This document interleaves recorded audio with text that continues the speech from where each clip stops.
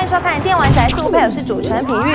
人生中有许多的时刻，总是会让人觉得，如果能够换个选择，会不会有更好的结果呢？以这种想法延伸出来的作品，数一数呢也不算少哦。那在今年的一三展，有一款以这种题材为主的游戏出现了，不知道能不能玩出新的花样呢？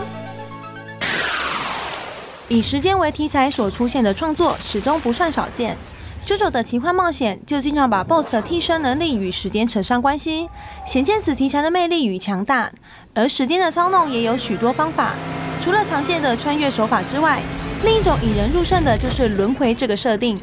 经典电影《今天暂时停止》以及最近 Netflix 的影集《俄罗斯娃娃派对回旋》，都是主角困在同一时空中的经典操作。这次一三展首次曝光的十二分钟也用了同样的设定，看来平凡无奇的鸟瞰视角，其实主角被困在同样的十二分钟里头，同样的时空需要不同的抉择，才有可能打破时空限制。虽然画面平实无奇，机制却十分吸引人。